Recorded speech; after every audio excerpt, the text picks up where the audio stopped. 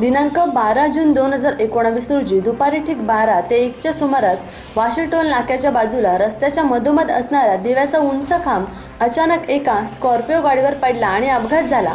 गाडीत चालक तसेच चौदा पंधरा वर्षांची मुलगी सोबत व साठ वर्षांची आजी होती. नशिबानं कोणतीही जीवितहानी झाली नसून हे दिव्याचे खांब दिसायला सुंदर आहेत पण खांब जर आपण नीट पाहिले तर ते एका लोखंडी प्लेट जॉईंटवर उभे केले गेले आहेत आणि संपूर्ण मुंबईत अशाच प्रकारचे काम केले गेलेले आहे. आमचे प्रतिनिधींनी वैभव पाटील व किरण पाटील यांनी जागेचा आढावा घेतला तर असे आढळून आले की त्यातले बरेच मधले मधले खांब पडलेले आहेत आणि त्यातून इलेक्ट्रिसिटीच्या वायरी अशाच बाहेर आलेल्या आहेत. संपूर्ण नवी मुंबई परिसरात हीच परिस्थिती आहे.